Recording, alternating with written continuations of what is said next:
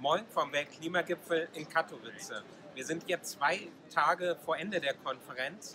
Wir hatten gerade ein Gespräch mit sogenannten Klimazeugen aus Zimbabwe, aus Brasilien, von der Insel Tuvalu. Und überall wird deutlich, die Menschen leiden jetzt unter der Klimakrise. Die Menschen wollen, dass jetzt gehandelt wird. Dafür tun die Industriestaaten, dafür tut Deutschland viel zu wenig. Es geht um globale Gerechtigkeit. Es geht um den Kampf gegen Ausbeutung und es geht darum, dass wir diese Klimakrise nur bekämpfen können, wenn wir auch Verantwortung für den globalen Süden, für die Menschen dort übernehmen.